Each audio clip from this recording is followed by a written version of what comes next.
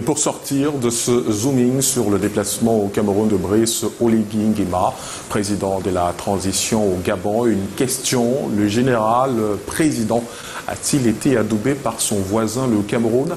Question à Rodrigue Tanguay que nous recevons depuis euh, notre studio de Yaoundé. Bonsoir Rodrigue Tanguay. Bonsoir Alain Gizon Kanga, disons-le d'emblée, aucun officiel à Yaoundé ne veut parler d'adoubement, d'entérinement. Disons que le Cameroun est rattrapé simplement par la réalité. Je dirais même que le pays agit par réalisme, voire selon la réelle politique. Notre pays et le Gabon, vous le savez, sont condamnés à vivre ensemble au regard des 298 kilomètres de frontières terrestres en commun, des échanges commerciaux dont Aban Minko, Kiosi et Haute-Bitam sont des points d'ancrage et fort des similitudes culturelles qui facilitent la communication entre les peuples.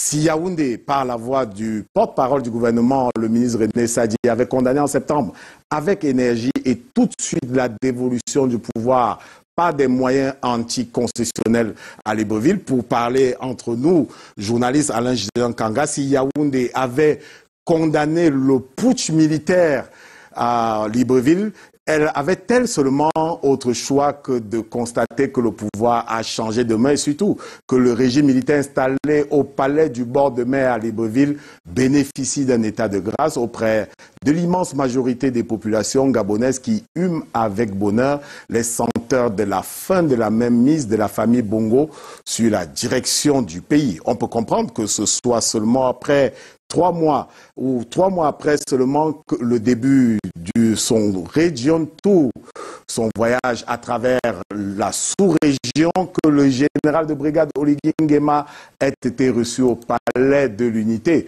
On le sait, Paul Biya n'a pas l'habitude d'y recevoir des hommes en treillis militaires. De telles occurrences se compteraient peut-être sur le bout des doigts. Alors, Rodrigue, y a-t-il des signes, des actes et même des légendes de ce caractère mesuré de Yaoundé qui apparaîtraient aux yeux du simple observateur?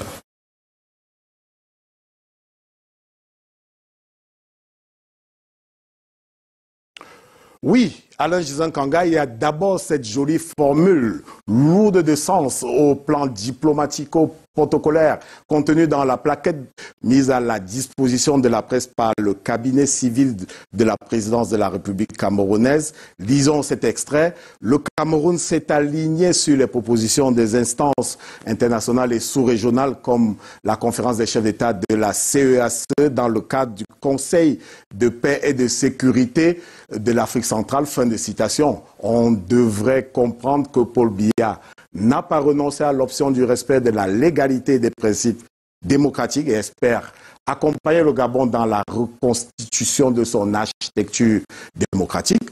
On peut comprendre qu'au-delà de la lettre de cette communication du cabinet du président camerounais, que la visite officielle annoncée ait pris des allures par réalisme, de visite de travail. Il n'y aura pas eu d'accueil au pavillon présidentiel à l'aéroport de Yaoundé-Simalène, pas de revue de corps constitué, même si cela n'est pas toujours exigé, mais juste celle des troupes, une revue des troupes, pas de pavoisement gigantesque que le citoyen de Yaoundé l'a remarqué dans la ville aujourd'hui, pas de banquet au palais, pas de signature d'accords bilatéraux qui caractérisent les visites officielles dans la pratique et selon la nomenclature des visites des chefs d'État encadrées par les accords de Vienne. Nous avons assisté à une audience avec la durée qu'on connaît, visiblement consacrée à des dossiers précis. Peut-être que Brice Oligui Nguema, élu, une fois élu, débarrassé de son uniforme militaire et donc retourné à la vie civile, ou un autre Gabonais élu au thème de la transition en cours là-bas sera reçu avec le faste de véritables visites officielles ou même d'État. Alain Gizan Kanga. Et en tout cas, l'avenir nous le dira. Merci Rodrigue Tonguet. On poursuit ce